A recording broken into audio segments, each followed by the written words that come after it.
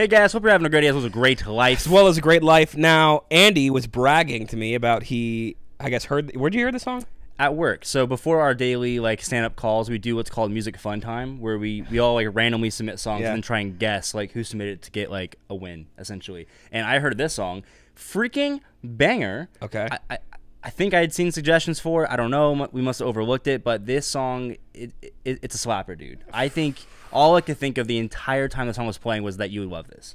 Damn, I and you also know my music taste. So. Quite a bit, quite a bit. Well, uh, we're just gonna get right into it. Thank you for watching the video, and uh, let's do it.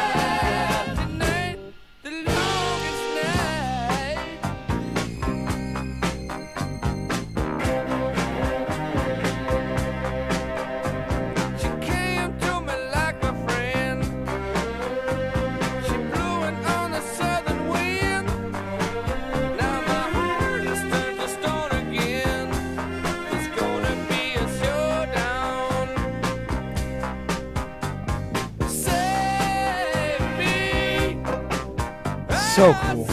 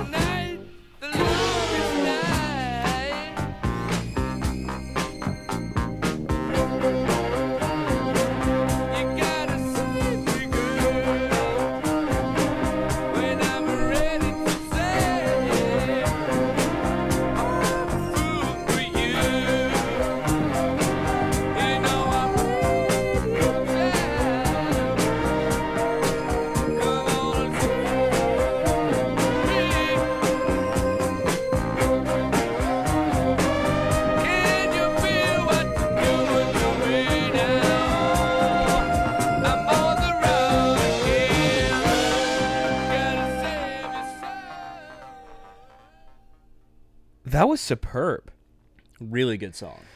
and it they they're so good because they have this like unique style ELO, and their use of instrumentation and production is just so next level. It's so pushing of the genre. I loved the violins. I've never heard a violin do that, uh, where it does like the long, like legato-y sort of thing, Mm. and then all of a sudden it ends in a pluck. It's just such a good way to bookend that that I've never heard. I didn't even catch that, but now that you say it, I, I recognize. I've, I've now. literally never heard that, and maybe I'm just not into stuff that features violin exclusively or mainly. Mm-hmm. But man, just as a first time hear, hearing that sort of technique, I was like, man, that's so cool. That's Yeah. so cool. How'd you feel with the vocals? Great. It reminded me of like, uh, and lyrically, I don't think I missed the words, but I don't think this is what it's about. But what it what I envisioned when I was listening to it was like an old west movie, right? Mhm. And you have like some cowboy who's supposed to fight somebody at dawn, like a showdown in the streets, yeah. right? And it's the night before, and it's Mhm. like that night before you're like, damn, like I could lose my life tomorrow. And I imagine it's raining outside, and for him, it feels like it's raining all over the world because all that matters is like where he's at, and he's like, this is gonna be the longest night of my life. Could be the last, but it's also the longest. Dang, dude. Very accurate. I'm glad. I'm glad you kind of picked up on that because not that I let the message of the song just like pass over my head and just get caught on instrumentation, but that's actually exactly what happened. That's Where, fair, like, though. It's like I get the feeling of like showdown. You know what I mean? But I wasn't really like thinking about it. But it really. I also don't know if it's about context. cowboys. But it's definitely about some kind of showdown. That's true. In, in one way or another. One thing super crazy vocally that I really enjoyed was it very much felt like Mick Jagger almost. In terms of- in Oh, terms I the can style, so right? agree. I can so agree. Wow. Like, ima- imagine like if you sub just sub in him on this song and like would there have been much of a difference? Probably a little bit, but like I don't know. Like You're gonna get the same feeling. style. You're gonna get the same Yeah. exact feeling, and it's also crazy that his vocal range can do that. yes, exactly. So crazy and cool to see that from Jeff Lynne. Okay, rating wise, um, you ready? Yes. Three, two, one, A A. plus. I think it's an A plus song. There's nothing like super hard that held, held me back from the A plus beyond just like trying to be more. I feel like we flip flop, being more conservative on the Mm, yeah. on the pluses and stuff like that. But I think we're on the same page in terms of it. This is like in the A level. Like it's an It's really, really song, good. An Yeah. immaculate song. They did a, a phenomenal job on it. At this point, it's like splitting hairs, kind of.